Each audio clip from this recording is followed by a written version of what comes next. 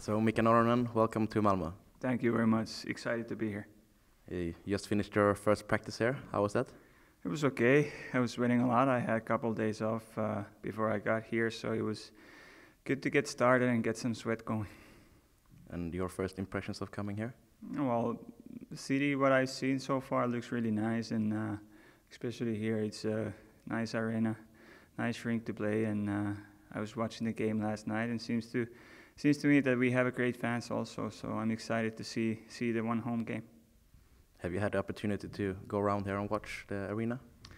Well, not too much yet, so I, I haven't seen too much. So I just walked to the ice and practice side and uh, had one ice. And a couple of times I got lost already here at the uh, locker room. So uh, just getting to know everything, and uh, hopefully soon I know where to go.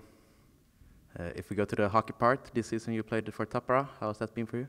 Well, it was. Uh, we agreed with. it's my hometown team, and that's where I'm from. So we agreed that I'll be with them until end of October, and you know I, I played there six games and uh, I, I won them all. So that that way games went pretty pretty well, and uh, they gave me a permission to look look other other teams. And uh, when I got a chance, I I decided to go.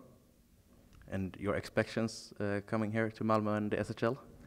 Well, I've been once before. I've been in, in this league once before for a short time, but I'm excited and uh, I'm hoping hoping to bring something something for the team that we will win the games and uh, I think that's the main thing to go to the games and win a game and uh, hopefully I can I can help with that. Having played with Linköping in the SHL before, does that give you any advantage already knowing the league?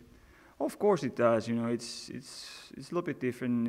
It's a little bit different league than somewhere else. Like for example in Finland, you know, it's uh, more offensive here. I think you know it's a little bit more bigger ice surface. You know it's there's little little difference, a lot of lot of little things that you could. Uh, it could surprise you if you haven't been here. So I've seen them once before already. So hopefully, it won't surprise me again. With the larger ice here, is it a big difference playing in net?